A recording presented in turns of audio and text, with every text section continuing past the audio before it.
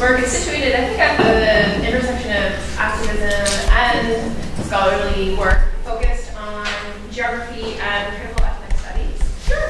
I'm kidding. I mean, I don't, I mean, that's, I mean, that's my assessment. So uh, you can let me know if uh, we're off on that. And other than that, I'm going to turn it over to Laura. And we have this scheduled until 2 o'clock, so we should have ample time for questions following your presentation. Thank you for coming. Thank you.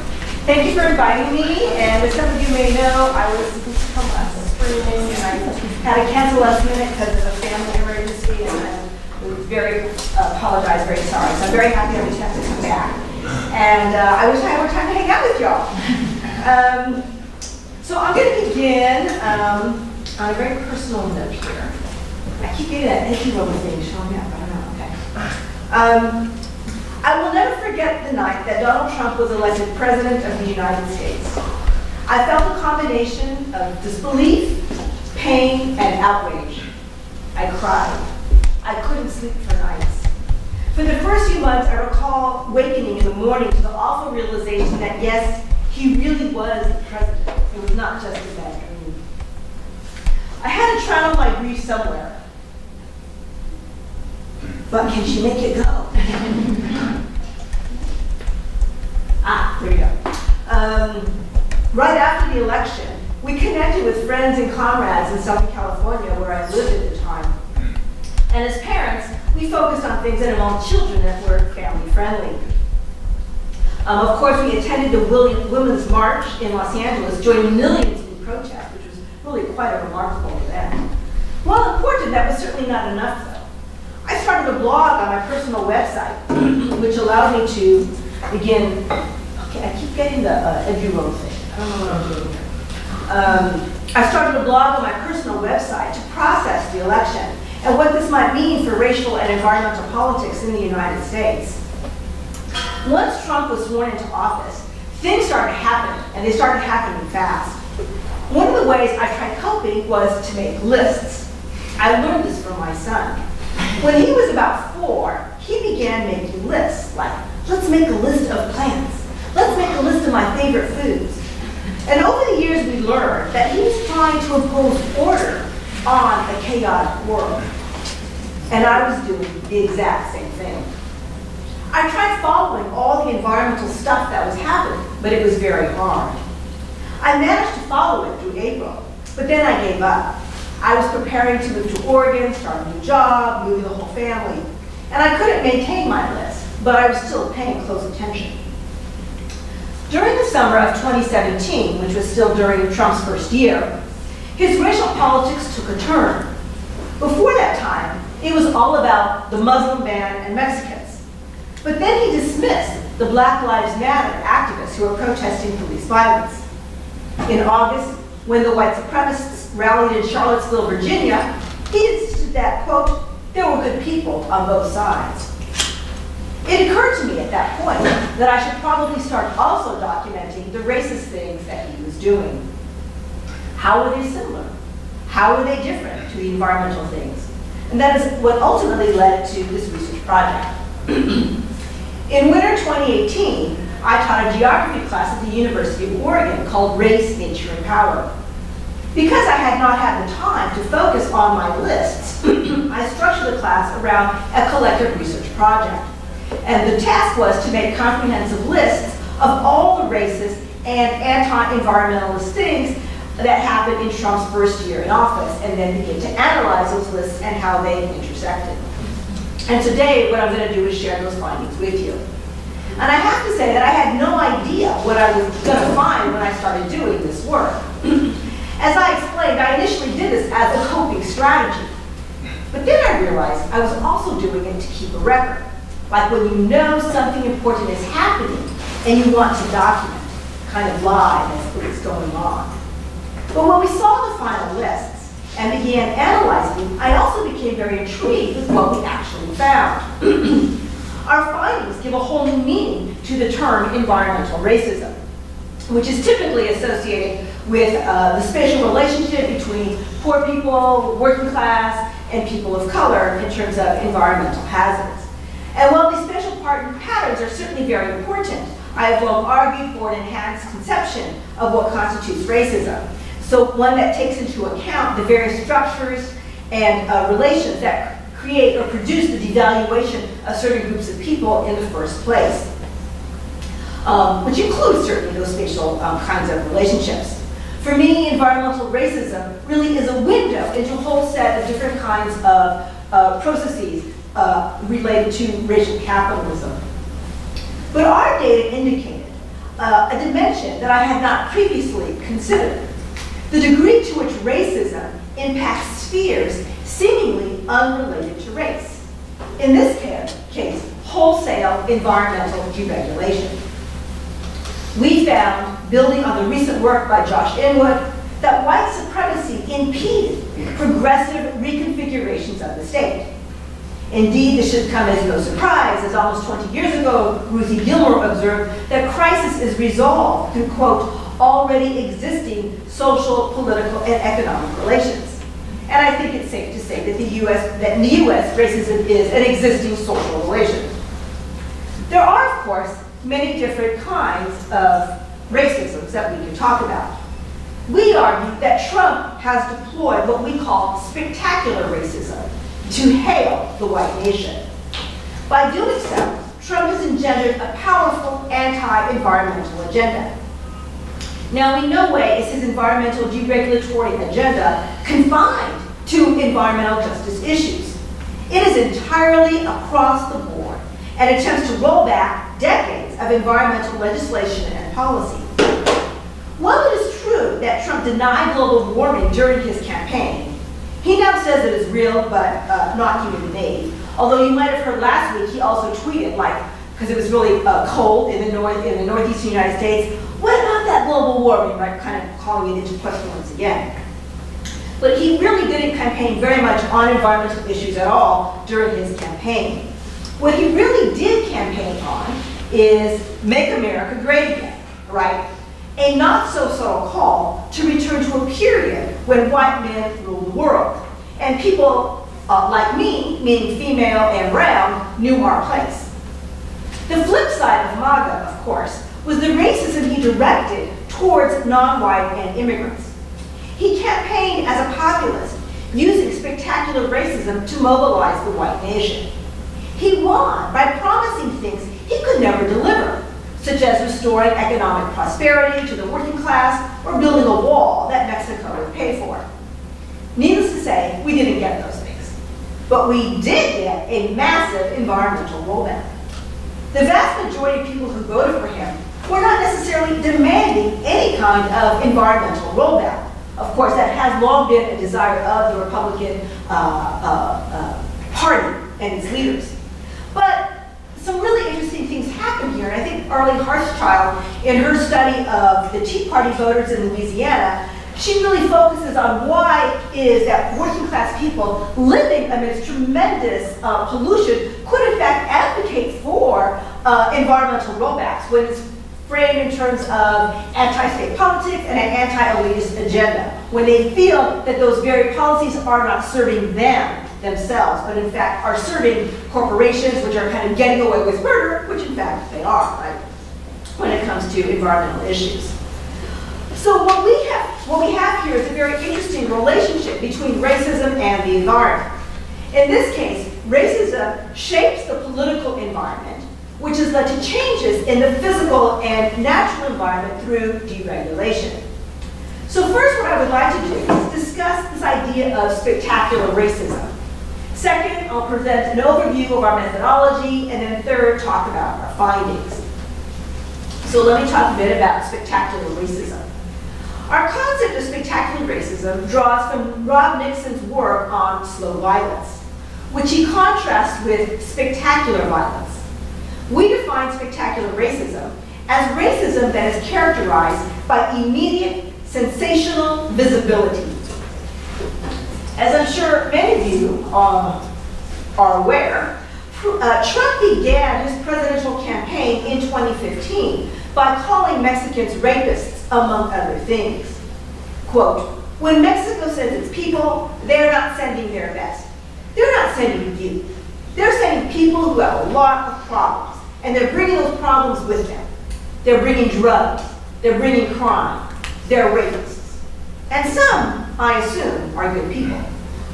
This is an example of spectacular racism.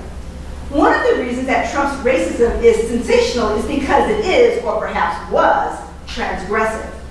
His statements violated U.S. norms of acceptable racial discourse, which of course was precisely the point. His transgressive racist, racist speech, we argue, accomplished four specific uh, political objectives.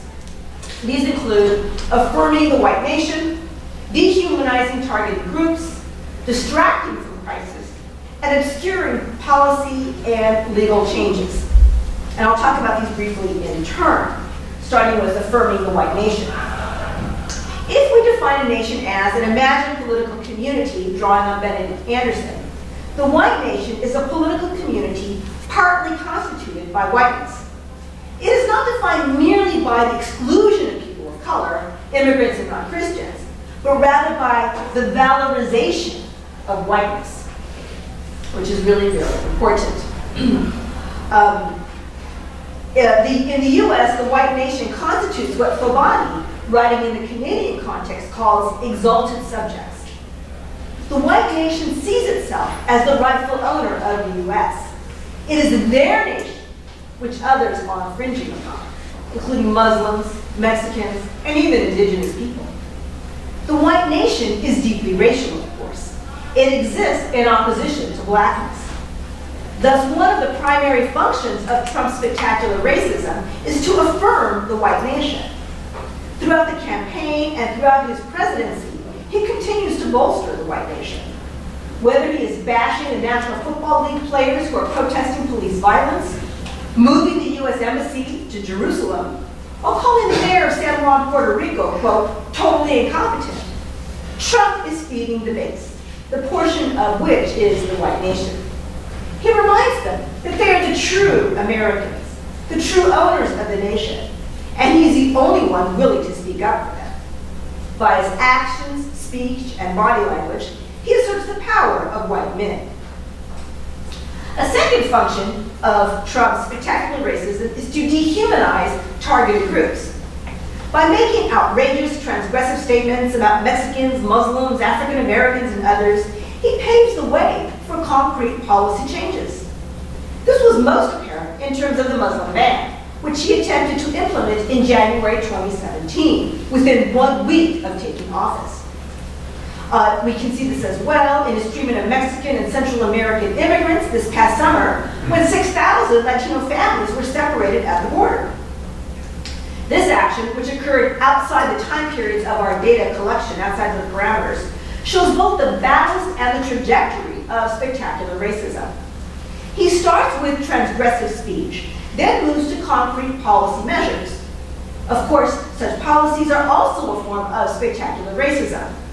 In no way is the Muslim ban effective policy.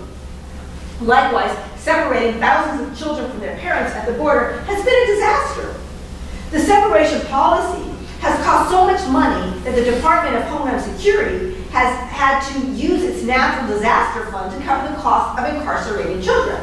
And thus, when Hurricane Michael came around this fall, there was not enough money to cover those costs and expenses.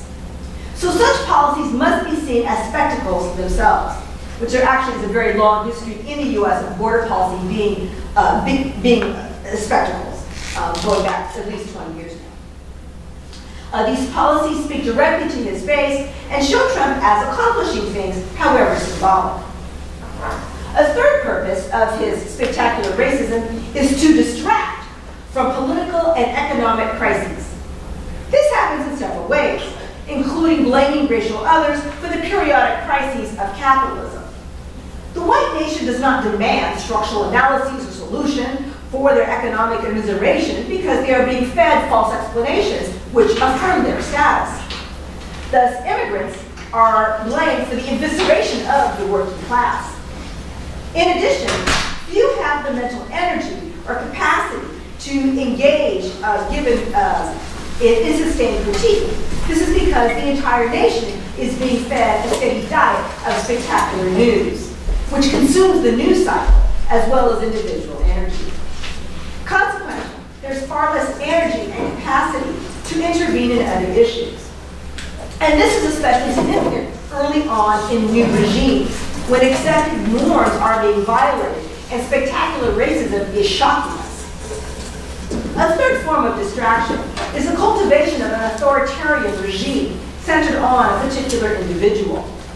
Trump is the focus of media attention and political debate, far more so than actual policy matters. Authoritarian's power comes from loyalty to the person, not to a set of ideas, values, or institutions. Taken together, all of these work to divide the working class, which of course is one of the oldest functions of white supremacy, and leads to the enhanced power of capital, which we saw in spectacular fashion last December when there was a massive tax cut passed in the United States favoring both corporations as well as the, uh, wealthy elite. The final function of spectacular racism that I'm going to mention, and the one most germane to this talk, is that it obscures concrete policy and legal changes. Because attention is focused on the transgressive statements and acts, far less attention is directed to the actual actions, including the restructuring of the state that ultimately serves capital. Trump has ushered in a neoliberal agenda scarcely imaginable a decade ago.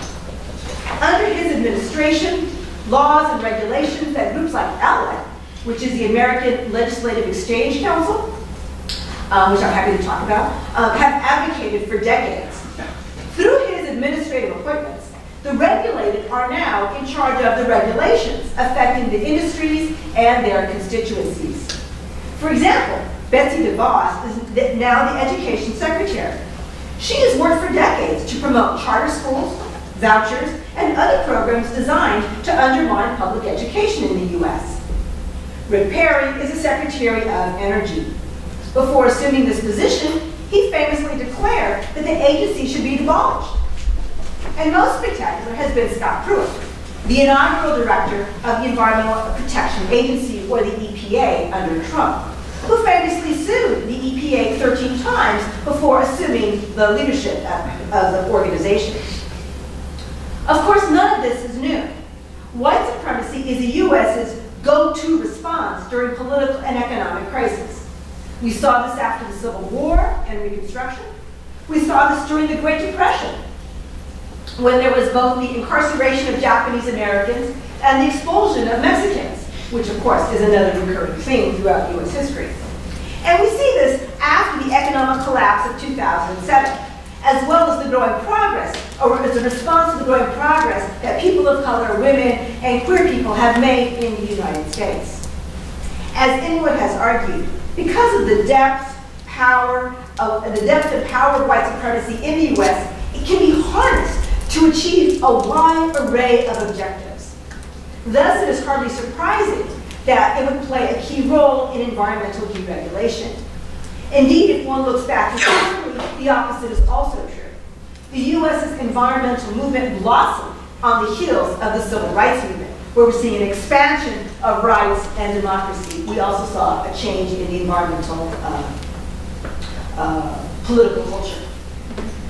Spectacular racism is certainly not Trump's only way of attracting support or, and maintaining his base, but it has been a central part of his strategy. His calculated use of spectacular racism has channeled diffuse anger and anxiety into a ferocious wave of energy that is the white nation. Thus, the white nation is fundamental to Trump's power. Despite violating laws, norms, the truth, and maintaining a chaotic administration, his base remains loyal. And through the power of the base, he has reshaped the Republican Party in his image. The white nation is key to all of this. It is important to locate uh, spectacular racism within its larger historical context.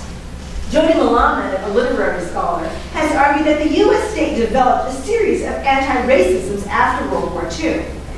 She notes that overt white supremacy ended at this time, and the U.S. state adopted various anti-racist frameworks, including racial liberalism, liberal multiculturalism, and neoliberal multiculturalism. Neoliberal multiculturalism, which we have been living in throughout the 21st century, can be characterized by a dematerialization, if you will, of race, and a severing from the violence of capitalism.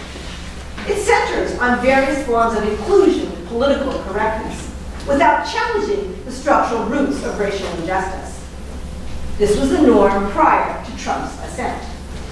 The whole idea of political correctness, which was torn apart by Trump, um, completely changed the moment that we're in. It's critical to understand that the things that Trump says and does are not new to the U.S. They are only considered transgressive in this particular historical moment because the U.S. has convinced itself that we have moved beyond such overt forms of racism. The impact of spectacular racism is not incidental to the larger racial formation. Instead, it comes from within it and it is actively transforming it as we speak today. Consequently, we're living with a combination of overt white supremacy and neoliberal multiculturalism, and it is unclear where we are headed. So given this framework, we ask some very basic questions regarding Trump's first year in office. Specifically, we ask, what has been the relationship between spectacular racism and environmental deregulation during his first year? What has been the role of spectacular racism? Which populations have been targeted and why? and how has environmental deregulation occurred? So I'm going to now talk a bit about our methodology, about how we set about trying to answer these questions. Our class, Race, Nature, and Power, had 25 students in it, and they were both graduate and undergraduate students. And the first thing we did was we divided the class up into groups according to topic. So we created a set of environmental groups and then a set of what we called the racial groups. Um, and each of the environmental groups was assigned a particular environmental topic, such as you see here, such as water, land, air toxins, uh, climate change. And each of the racial groups was assigned a particular population, such as Asian Americans, African Americans, Latinxes, uh, Muslims, Iran, China. This actually, this last exercise became very, very difficult and muddy, as you might imagine because Trump has exhibited racism towards so many different populations and groups. The U.S. domestic was relatively easy to do, but the international relations were, are also very deeply racialized under the Trump administration. It is impossible not to see Korea, China, and Palestine, for example, as racialized countries. And you might remember this famous comment here. We were acutely aware that our categories were problematic, but we could not find a better way to proceed. Um, this whole exercise, on the one hand, made me very sympathetic uh, to the everyday challenges that my colleagues who work in quantitative methods face on a regular basis. On the other, I also think it's a great example of the fictions that are forged when quantifying reality. It imposes false categories on very messy experiences as if Muslims and African Americans are entirely discrete populations, or as if dismantling water protections won't impact wildlife. Nonetheless, we set to work collecting as many events as we could find from January 20, 2017 to January 20th, 2018. January 20th obviously is the day of his inauguration. We define an event as new federal policy policy changes, policy delays, observed acts of censorship, executive orders, memoranda, federal appointments, including the lack thereof, federal budgets, federal court rulings, as well as Trump's speeches and tweets, uh, because in the United States the Department of Justice has viewed them as a, a presidential statements, as well as all federal legislation, um, including proposed bills meaning they have not become they're in the process. Each team then made a spreadsheet of all the different uh, uh, events that they found, and they included such things as the date, the justification, impact, spatial dimensions, if it was contested, and things like that. For most topics, we did not have to start from scratch. There were already several databases tracking the Trump administration by the time I started, but they were all much more narrow in scope. such as Columbia Law School's climate change tracking, and the American Civil Liberty Union's list of civil rights violations. We pulled from existing databases, and then we ventured out from there. Students follow the congressional record, Trump's Twitter accounts, major newspapers, federal agency websites, and the like to document what was happening. The data indicate that Trump's environmental and racial agendas were indeed unfolded in distinct fashions, which we believe are meaningful.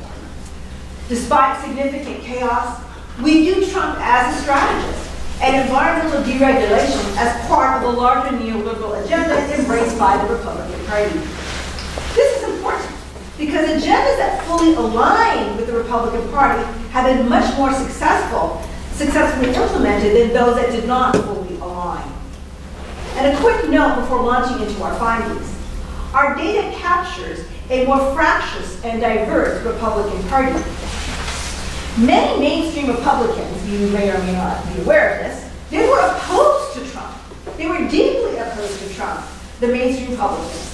Since taking office, however, Trump has literally reshaped the Republican Party in his image and likeness. No Republican office holder challenges him now without risking scorn and losing the next election. It was not like that in the first year.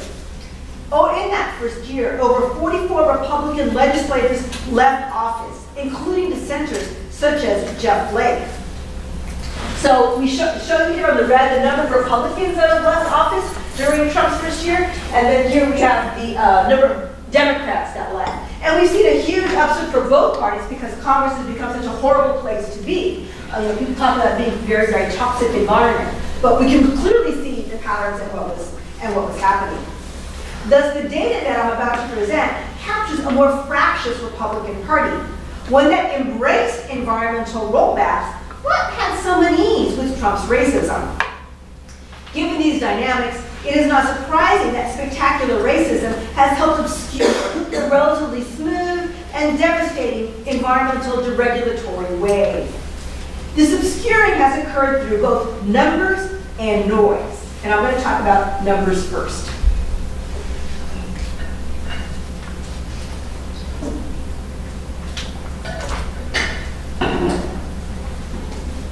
So numbers refer to the frequency of events, whether speech, legislation, or a non-appointment. We found 195 environmental events and 354 racial events. This might lead one to conclude that more resources were invested in a racist agenda rather than an anti-environmental one. But it's not that simple. An important distinction emerges when we consider the kinds of events that we are talking about um, or that characterize both the racial and the environmental agendas. We distinguish between rhetoric and concrete actions. This pie chart here shows a distinct pattern between the two agendas. This indicates that concrete actions, of which there were 256, were far more likely to be environmentally related, 67% specifically, compared to the racial ones, which only, only of which 32% uh, were in that category. This divergence is even more pronounced over here in this uh, pie chart, which depicts all discursive events, all right? There were 293 discursive events. Here we see that 92% of discursive events were racially related, while only 7.5% were environmentally related. So clearly, he seems to have a distinct strategy for each agenda. Though we distinguish between rhetoric and actions, we are painfully aware of how the two inform each other. Consider Trump's proposed border wall. Clearly, the wall maintains the borders of the white nation both metaphorically and literally. It nurtures Trump's base, thereby uh, securing continued support. Repeated reference to the border wall has also pushed the realm of political possibility to the right. Indeed, in the winter of 2018, the fate of DACA recipients, and those of DACA refer to the children that were brought to the United States um, uh, with parents that were unauthorized, right? And so there's been many attempts in the United States on what are we going to do with these kids? They didn't break any, you know, they were brought here against their own volition, right, as a two-year-old or whatever. And at this point in time, in um, last January, Trump basically held the, a, a resolution of the DACA recipients hostage to his border wall until he was going to get funding for it, all right? Um, so this wall, of course, keeps coming up and again and again. If you were following just this past week now, there was pepper spray that was uh, sprayed on um, immigrants at the border, um, just, you know, Monday or Tuesday or something like that, right? Such tactics, both spectacular racism and using DACA recipients as bargaining chips, further erodes norms and humanity, which are essential to a functioning democracy. As such, Trump's relentless racist rhetoric actually serves to normalize a spectacularly racist policy agenda and obscure the vast array of environmental changes underway. Let's take a closer look at some of the environmental um, actions undertaken in this first year. Table 2 lists environmental actions by kind. Topping the list are policy, appointments, and executive actions. These three alone account for almost 70% of all environmental actions and illustrate a broad neoliberal environmental agenda. Policy actions include rollbacks from the Obama era.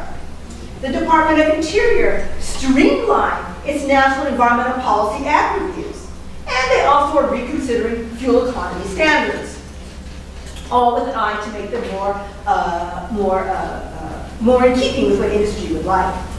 The easing of deregulatory requirements is, of course, fundamental to neoliberalism and something the Republican Party has long desired. We were also interested in the kinds of justifications uh, or how these, uh, how these decisions were narrated by the Trump administration. Um, the Trump administration was really quite frank in justifying its actions. This table lists the different explanations given by the responsible parties for the various actions.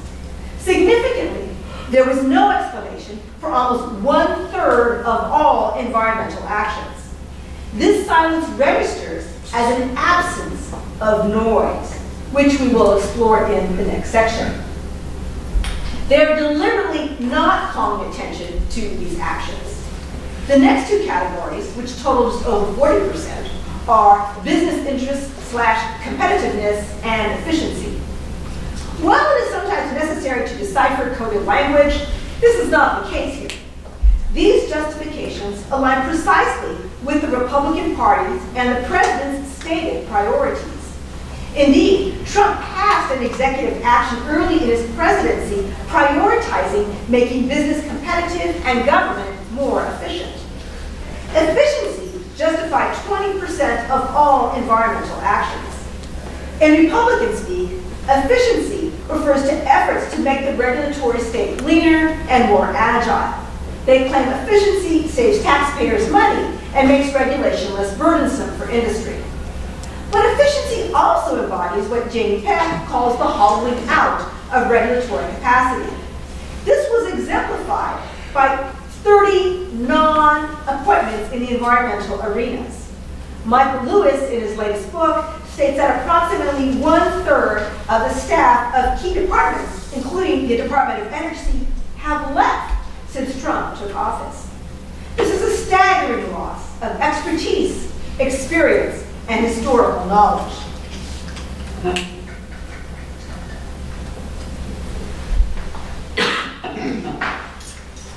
Appointments are also a form of deregulation that requires specific attention. Of course, non-appointments indicate, as I said, a hollowing out of regulatory capacity. But Trump has been a master of appointments. On the one hand, there are random, incompetent appointments for agencies that he really doesn't care about or wants to just see them wither. For example, Ben Carson, a surgeon, is the head of Housing and Urban Development. His qualification? He grew up poor. On the other hand, there are highly knowledgeable people who have historically attacked the agencies they now oversee. For example, Nancy Beck was appointed as the EPA's Toxic Chemicals Unit. Beck came from the American Chemistry Council, where she made tracking toxins more difficult. Or Scott Pruitt, in one of his many pro-industry moves, barred scientists who received EPA funds from serving on the agency's regulatory uh, boards. Uh, their, their, science advisory boards that they have. Just, he justified his actions as treating industry fairly. Quote, we have committee members that have received tens of millions of dollars in grants at the same time that they're advising this agency on rulemaking. That's not right. As a result, private consultants and industry members have gone from 8% in 2017 to 32% in 2018. These are textbook examples of what Danny Faber calls the polluter industrial complex. A third form of neoliberal governance is privatization and creating opportunities for industry. This was most pronounced in terms of fossil fuels. One of the first things Trump did when he became president was to issue a presidential memoranda supporting the Keystone XL and Dakota Access pipelines, which I'm sure many of you are familiar with. This was followed by expanding offshore drilling and a review of national monuments in an effort to shrink them. The breadth, depth, and speed of environmental deregulation, unlike other parts of the Trump agenda, such as the Muslim ban, which was characterized by chaos and massive opposition, has been relatively smooth and carefully crafted. One reason for this is because environmental governance has been envisioned as a multi-stage process. Consider that in February 2017, Pruitt was appointed EPA director. On March 28th, Trump signed the presidential executive order on promoting energy independence and economic growth. On March 29th, one day later, the Department of Interior lifted the ban on coal mining. The administration explained, quote, given the critical importance of the federal coal leasing program to energy security, job creation, and proper conservation stewardship, this order direct, directs efforts to enhance and improve the federal coal leasing program. So here, executive actions have been crucial to providing a circular justification. Executive action, an executive action is something the president has the authority to do. It's not an act of Congress, it's not a judiciary, it's just the, the president himself. So executive action drives agendas from agencies. The directors implement those changes, and they are then justified by the executive actions.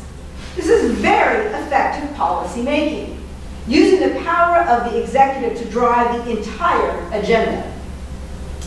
Despite having to resign over ethics violations in July 2018, Pruitt was a skilled administrator. Having sued the EPA numerous times, he understood exactly how to deregulate. I would like to now turn to noise, all right? Now noise, we use this term to highlight the attention associated with specific events. And this is figure two, once again, shows us all discursive events. The fact that environmental issues comprise less than 10% of all discursive events indicates that Trump was more likely to be silent on environmental issues and relatively noisy on racial ones. With some exceptions, such as the Paris Accord, pipelines, and national monuments, most environmental actions have been unfolding in silence. As one student observed, Trump is not tweeting about air. These silences are meaningful, especially in light of the number of environmental actions undertaken. And when Trump does make environmental noise, it is largely symbolic. It is finally happening for our great clean coal miners. Uh, this table then shows uh, who Trump has been directing his rhetoric um, towards, or against, I should say. Number one leading the list uh, in frequency were Mexicans and other Latinx groups, with a total of 94 events. Recall that Trump initiated his campaign with transgressive remarks about Mexicans. Although his campaign predates our data parameters, its significance has resonated throughout his first year as it set the tone and strategy. Although many of Trump's comments focused on immigrants, it is impossible to conceive of Mexico and Mexican immigrants outside of the U.S. racial formation. As Don Michael Rivera has argued, Mexico has served as a racial national other to the U.S. white nation since the Mexican-American War in the 1840s. Ethnic Mexicans are ideal fodder for Trump's spectacular racism. because of the U.S.'s deep history of anti-Mexican racism. Pejorative meanings of Mexicans are well established and pervasive. They're criminals, dirty, lazy. One need not produce new meanings or new connections. One can simply draw on hegemonic anti-Mexican ideology and sentiment. Though Trump attacked Mexico and Mexican Americans, he reserved most of his bile for immigrants, a convenient target since most of them cannot vote. Mexican immigrants are complex racial subjects as they pose both a racial and national threat to the white nation, as seen through Trump's eyes. The threat of contamination was even evident in a tweet implying that Mexican trash was more hazardous to Border Patrol agents than U.S. trash. Next in line are uh, uh, the broad category of Muslims, South Asians, Arabs, with over 80 different events. As a transnational population, the rhetoric is directed at multiple peoples connected by region and religion. However, this population is partially targeted precisely because of its presence in and connection to the United States. For example, in February, Trump tweeted, um, everybody's arguing about whether, the, whether or not it is a ban. Call it what you want. It's about keeping bad people with bad intentions out of the country. So we really see that connection, right? People and regions related to Islam have been positioned as others to the West and America for centuries, but especially after September 11, 2001. Similar to anti-Mexican discourse, anti-Islam rhetoric has deep roots in the United States. But its spectacular nature, combined with specific acts such as the Muslim ban, have profoundly reshaped the racial formation. Under Trump, the white nation is actively being produced in opposition to Mexicans and Muslims.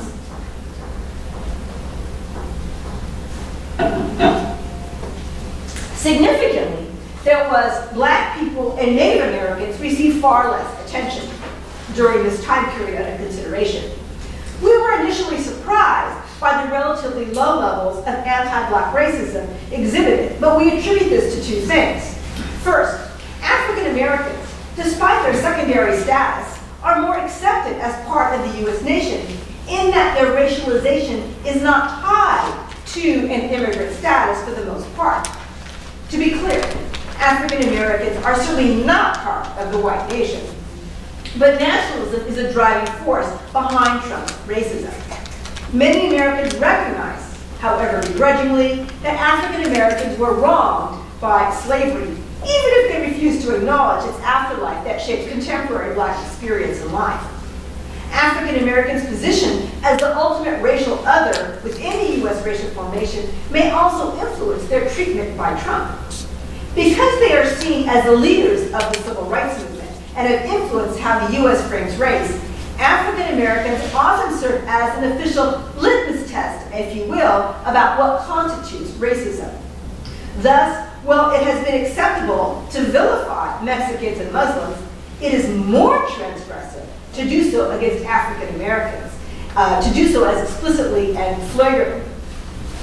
Indeed, Trump himself has a long history of anti-black racism, but he decided to limit his anti-black rhetoric upon becoming president. Nonetheless, there were numerous law, law and order comments directed against groups like Black Lives Matter, and he went on Twitter wars with black athletes protesting police killings. And it is entirely possible that the way we see white supremacy operate, that the way he's treating Mexicans and Muslims could then pave the way for other kinds of more targeted attacks against black people. So it's not like they're off the hook. Um, they're just not appearing in this particular data set in the same way. Um, Native Americans also were infrequently targeted by racist rhetoric, uh, who also occupy a distinct position as colonized people. While black and indigenous people encountered less racist rhetoric from Trump, they have not been without harm. For indigenous people, we view environmental actions themselves as violence against colonized people, as it is their land that is being appropriated and degraded, with vast consequences for their health, culture, nation, and ability to survive. Though it can be argued that both Native and Black people are part of the nation, we must recall that the U.S. was forged through slavery and colonization. Thus, their exclusion, domination, and eradication were central to the formation of the U.S. The fact that Mexicans, Latinxes, and Muslim Arabs are currently more targeted by Trump's racism reflects the complexity and fluidity of the U.S. racial formation. So to conclude, hopefully I have shown how Trump's environmental and racist agendas are unfolding in distinct ways. While potentially interesting in and of itself, I am drawn to the larger implications of this. First, I am interested in the larger conception of environmental racism. Clearly, racism has been a powerful tool in facilitating an environmental rollback. Racism is providing the fuel for the Trump agenda, not environmental deregulation. The implications for social movements should be obvious, and need to radically rethink the boundaries and connections and frameworks that these different movements may be using. Of course, there has been a coming together of environmentalism and anti-race groups um, over the past two decades through the frame of environmental justice. Uh, but clearly, it is entirely inadequate to the task at hand. Second, this exercise provides more proof, if more is needed, of the power and ferocity of white supremacy and the white nation. It may be obvious to outsiders, but it is not to many people in the United States. The entire U.S. project is built on the denial of racial violence and white supremacy. Thus, it is difficult for many to see its many manifestations. We are deeply committed in the U.S. to a highly contracted conception of racism, which precludes an honest engagement with the past. Indeed, most Trump supporters would deny that he is racist, and certainly that they are even supporting a racist political project. And finally, there's the question of the evolving nature of the U.S. racial formation. Hate crimes are on the rise. Racial violence is appearing in all kinds of surprising places. Of course, there's many in the U.S. who are deeply opposed to Trump and what he represents, and we saw some of that in the midterm elections um, this past month. But there are also many who are emboldened to attack others who they see as a threat to the white nation. The U.S. has gone to war before over the struggle over white supremacy. The question is, will we be headed that way again? Only time will tell. Thank you.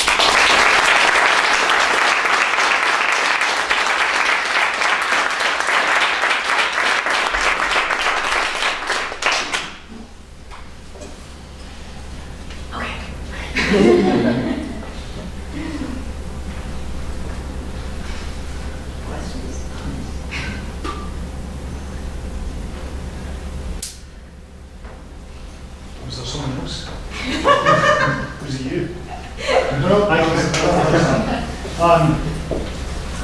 So that, thanks for that. It was really interesting. Um, I, I, wanted to, I wanted to sort of um, think a little bit more about the, the term spectacular mm -hmm. specifically, and to um, maybe think about it literally, uh, in the sense that um, there's something, or isn't? Uh, that's a question. Is there something um, about the actual spectacle, the visuals, that plays into a lot of this. I mean, your, your presentation, obviously, including this slide here, indicates that.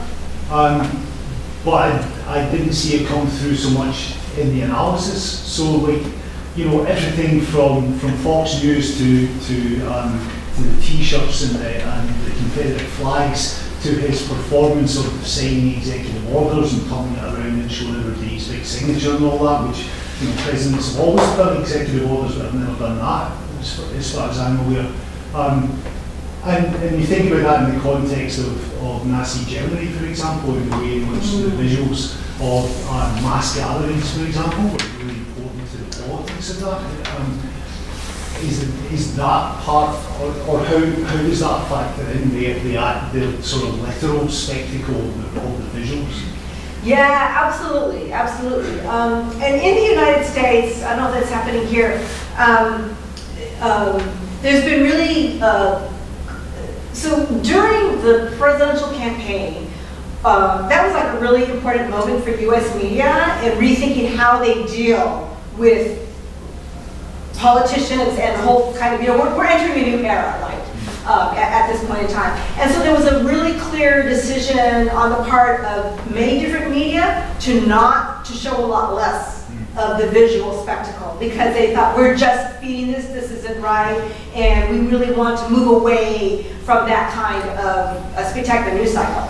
But at the same time, you know, we have a very split, this is a big thing in the United States, the split media markets and the split media audiences. And so if you're watching Fox News, Fox News, you're absolutely seeing this, right? All the time, relentlessly. So that part of the, so his base, which is, um, and those people watch Fox News too, I'm not saying that they're the only ones, but um, they're very much seeing those kinds of things. But other people in the United States are not seeing those in the same kind of way, right? Because of their choices by different kind of media outlets about how they're going to do that. And that would include both paper, um, as well as some of the news sites, and then TV news, um, and, um, and, and, and, and different radio outlets. So yes, it absolutely is current, and you're right, I don't pay enough attention um, to that, and I think it's really, really important. But it's also a very split thing that's happening. Yeah. A related question about the spectacularity of what you track. I was wondering if your research tracks, I mean, it's telling that the statements that he makes while like horrible are also really newsworthy and events of environmental deregulation around the same parallel time don't get reported in the same way. And whether there's, you've been able to draw any inferences or like thought about that as a research question? What gets reported, what doesn't, and the timing of certain statements? Um, we thought, uh, that- so we did do an analysis with the timing, and I couldn't have any rhyme or reason to it.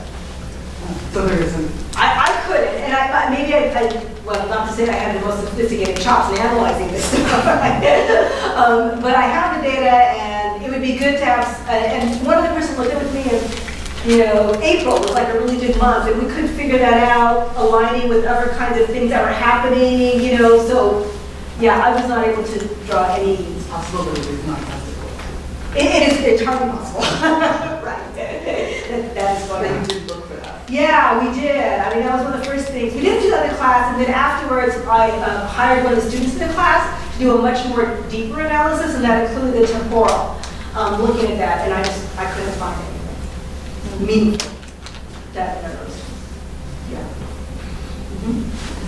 Um, Thank you so much for that talk. It was- It was fantastic and especially really inspiring the way that you were, did it through your, your teaching as well. Oh, So- yeah, that was fun. So, yeah, it does sound fun. Um, so I was wondering what this kind of, this um, disjuncture between the racial discourse and the environmental discourse, like the fact that one seems to obscure or, I mean, obscure the other, like the environmental, like policy changes, like, do you have thoughts on what this would tell us about the, the kind of nature of Trump's base or the white nation? Or does it tell us something about, about that? I think the thing that I would want people to take away is that um, um, the centrality of white supremacy and how it operates. And so I'm just looking at environmental issues. We could actually do the same thing with whole other spheres, right? Housing and urban development, health, I mean, foreign relations, you name it. I mean, I think we could find those things. I'm just looking at one of them. And so I just think it shows the, um, the incredibly dangerous um, and powerful nature of white racism and how it can completely hijack and transform different kinds of any agenda, right? And you lose all kinds of sense of transparency and relevant information because of this kind of both events and then the reporting of those events, right? Um, because they're seen as so transgressive and, you know, newsworthy and stuff like that.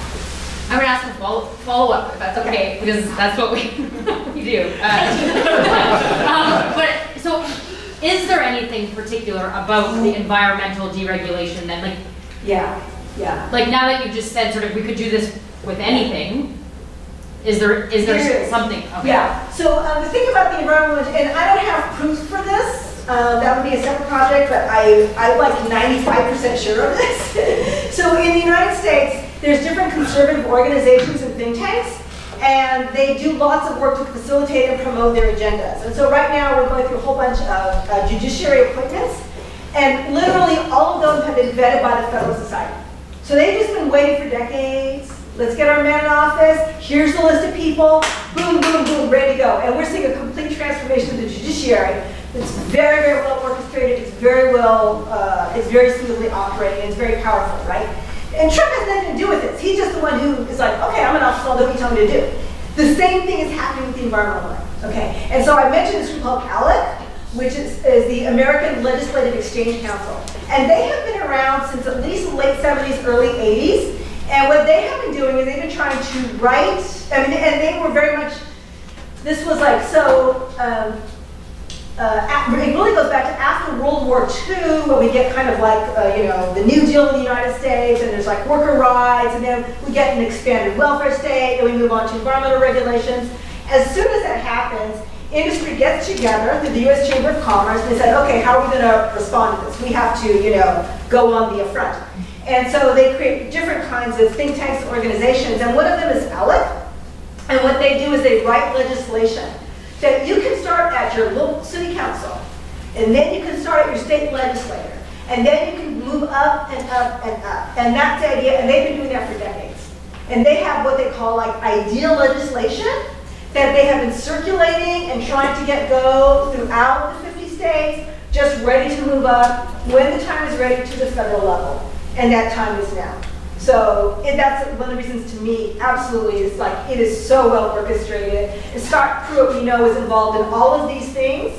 Um, you know, he was one of the people actively working with ALEC, and he was doing that in um, Oklahoma before he moved on to that current, uh, current position. So yeah, it's the environment, and because that's been like a, a, a priority for industry. Yeah, thanks. Thank you very much for your talk. So my question is actually related to the design of the course itself. Um, and especially, uh, I have questioned whether or not you are concerned with, you know, maybe uh, academic policing. Um, I recently read about a case of a professor who either got suspended or uh, reprimanded because she encouraged some of her students to uh, come and uh, not vote against, but pro- protest the appointment of uh, Justice Kavanaugh. And so my question is, you know, do you see challenges if you have designed this course and then half of your students were Trump supporters? Yeah. How would you be able to kind of still do the work that you do, or how would you be able to bring them in or be concerned? Right, good question. So um, I kind of knew that half of them would not be Trump supporters, but I did have some Trump supporters. And um, because it was an empirically based research project, it just did not, it was not a problem. So we did have difficult conversations, um, and, but the bottom line, there was two things that was happening. One, so many other students would like, kind of like push back against these students. So I actually didn't have to do, I didn't do a lot of that work, but they saw the data. They saw the data. I did not make that shit up, you know? they went and they collected it, and they saw it, and they don't have to agree with their interpretation of it. Um, I invited, so we, during the class, all we did is we collected the data, and then we did like this preliminary analysis, this is a quarter system, I didn't have a lot of time. But I invited anybody from the class who wanted to continue working on it and to write a paper.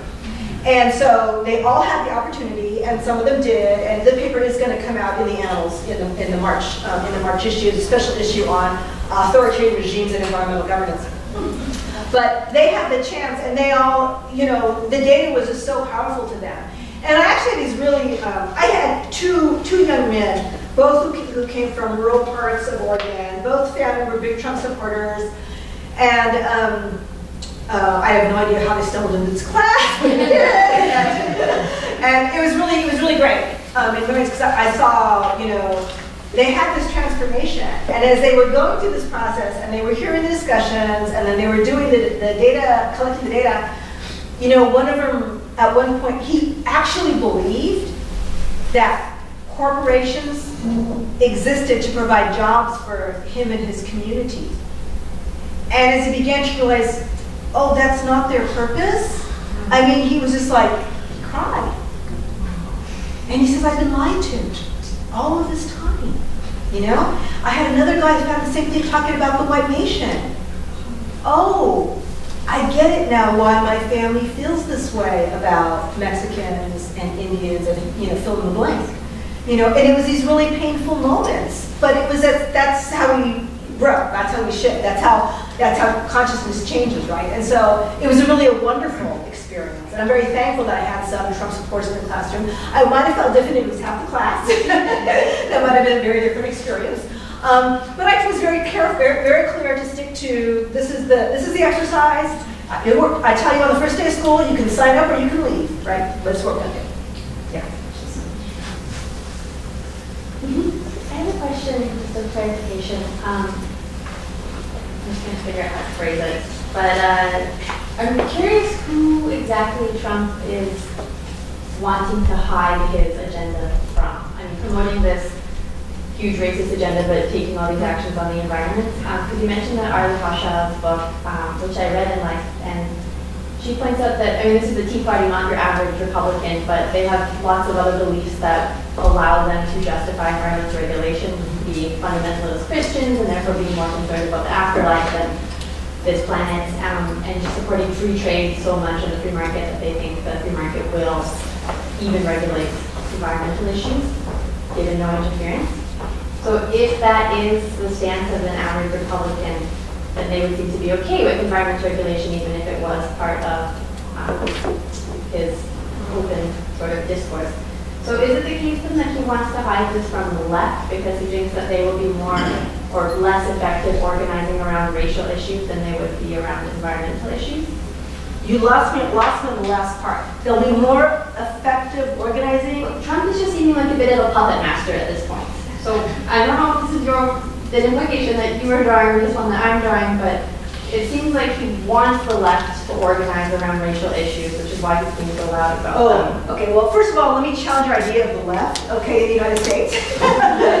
There is a liberal, uh, and there is a growing left, there is, there is. Um, And if you look uh, recently, again, through the last election, I think something like a quarter of young people identified as socialists, which is pretty radical for the United States, okay? But the fact that's, that's very constrained by age, right? Um, and so these I really don't think has a left um, that we that we can really speak of in, in a robust kind of way. But he is trying to hide from the mainstream, main, main middle America, because actually, if you look at like most people in the United States, um, particularly outside of like the Tea Party movement, there's really broad support for environmental regulation. There has been for many years. National Park Service is consistently ranked as the number one federal agency in popular support in the United States. So it's not like most people in the United States like, yeah, they don't want that stuff done. Um, they see this makes my life better, this makes life better for my children, my community, and so on and so forth. So they get that. Who he's trying to block, uh, he, he's trying to block himself from the larger majority increasingly the Republican Party has been on a demographic death wish for a while now, right? They are just running out of voters, okay? Demographics are not in their favor, and they have chose after um, Obama won his second term, you know, the Republican Party did what they call like a major auto, that, an autotop- autopsy, and they decided we just have to broaden the base, we have to stop the racist rhetoric, we have to include all these other people because there's not going to be enough white voters for us to go after. There's just not. So they know that. And so they have to, uh, so they know the majority of the country is not on their side. And so that's why they want to obscure it because it will be massive, more opposition on the part of environmental groups who really, they just can't even keep up the environmental groups, right? I mean, they're just like working nonstop and, you know, 75% of everything is just getting away anyway, right? So that's who they're trying to hide it from more than anybody else, right? I would say. Does that answer your question? Yeah. Okay. So I have a question about, I know there's no like either or answer to this, I'm just curious what your, what your thoughts are on it. It seems that there's two ways of talking about Trump. You know, uh, one is that he's tapped into a long-standing white supremacy that has, you know, animated the U.S. and Canada, but for, for you know, forever, effectively, that since the nations have existed. And then there's another idea that he seems to be, you know, producing a new intensity of racism, and and, uh, and and and sort of calling white people to their whiteness, perhaps that they may or may not have recognized before. And I know those things can coexist, but I'm, but what I have in my head is the way that people talk about how he says what everyone else is thinking. You know, and I mean, people say that he's just saying what lots of people are thinking. And I, what I'm wondering is if you think he's saying what a lot of people were always thinking, or if he is also at the same time produ, you know, literally calling white people to their whiteness in that sense, like producing a new racism or Yeah, yeah, yeah, right. Uh, so uh, he's doing absolutely both. I did, I mean, early on in the campaign, when he first began, um, you know, uh, like he, he opened the campaign about Mexicans as racist, and that kind of like smashed political correctness at that point in time, right? And I'm personally one of those people that I used to like, I have been very critical political correctness, you know, and very, um, this is, you know, kind of I had not say. what I did appreciate was the extent to which political correctness actually acted as a firewall. And that helped uh, maintain the racial violence or put a lid on it because of political correctness. And I did not appreciate that. All right, once you take away that firewall, well then, boom, you can do whatever, right? And we're seeing what happened, whatever. So it's, it's A, he was saying what people thought. I mean, white people and white men in particular were simmering and deeply resentful about political correctness for decades, right? They really, really were very resentful of that. So he absolutely was saying what people were thinking, or at least what a segment of the population was thinking when he, when he said that thing about the Mexicans as, as rapists. So that happened. that smashes the firewall of political correctness. He, at the same time then, is hailing the white nation, calling people into, right, into being as whites to, to protect themselves and, and their nation. But then at the same time also, he's giving permission to the overt and violent white supremacists. And we have lots of different kinds of interview data coming out about the extent to which um, white nationalist groups, white supremacist groups are like, oh, it's a whole new, it's a whole new landscape for us now with Trump. You know, we have to rethink our strategy because we have been given implicit approval and permission to do what we want to do. So I see these, a whole series of different kinds of dynamics, all head in the same direction. But yeah, we can sort them out. And there's, I think, also increasing like a really interesting geography that I'm really interested in studying, you know, about those, um, the, the spatiality of those dynamics and where they're occurring. And I think the Pacific Northwest is particularly an interesting site, um, given it is historically as a white population and it has had, you know, different white nationalists have gone there. And then at the same time now, this is a good example of kind of the complexity of historical dynamics as, you know, what different white supremacist groups are targeting Portland, for example, because they know it's a liberal city and therefore they're going to get a backlash. They're going to create a scene. There's going to be, you know, the, the race war that they want, right, happening. So we can see like these sediment layers of like, you know, centuries of different kind of white supremacy, you know, no black people allowed in the state of Oregon, you know, whole pioneer kind of sediment uh, in terms of the settling and dispossession of Native people in Oregon, you know, building the society, then you get white nationalists there because we're going to build our little utopia here with no colored people, and then we get this latest layer happening. So many, many uh, complicated things happening.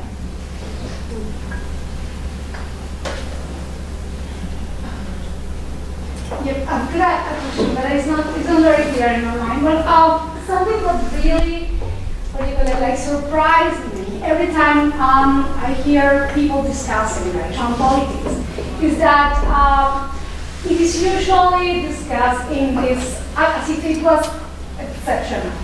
As if it was, you know, because it's America and because it's like, yeah, like, oh gosh, this is happening in America. But I think populism, there is a long, like, history of populism being used like elsewhere, and especially in the South, you know, we have like, you know, big, you know, populists, like, yeah, Oh, exactly. yeah. no, I mean leaders, Yeah. and, and the strategies, and these strategies that you were describing, of course, they are different in terms of the white nation or whatever, but they are like related to other strategies that were also very much connected to race that were like using, let's say, Argentina, Chile, and Colombia, Venezuela, like, and in different ways, but in ways that, according to me, are like related. I just wonder, and there is a huge like literature coming from other places that actually analyze how they like work, you know? How, yeah, and, and I, I was thinking about like, I mean, there are now scholars who are like finding out how policies that were used uh, in Europe or big, big changes that were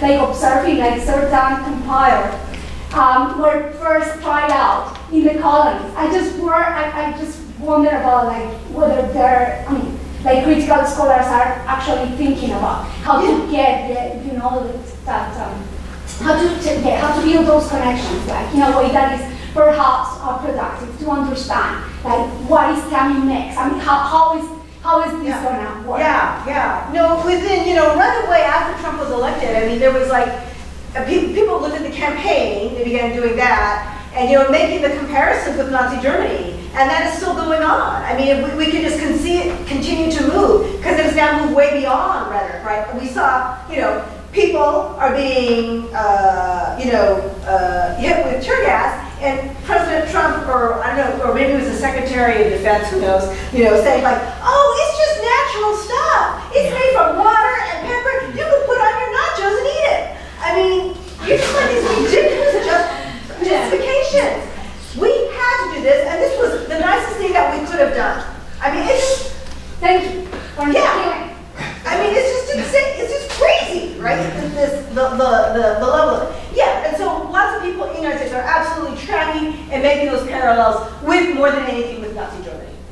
Yeah. Yeah. And, and they're always careful to say, no, we're not there yet. We're not there yet. You know, but we're just like inching, right? Every, every day. We're inching further and further. And like, you know, just like this last stuff with like the, the people at the, at the borders, like the most, uh, I think the most profound examples of where we're going. I mean, actually, you know, physically, you know, attacking people in this way, right?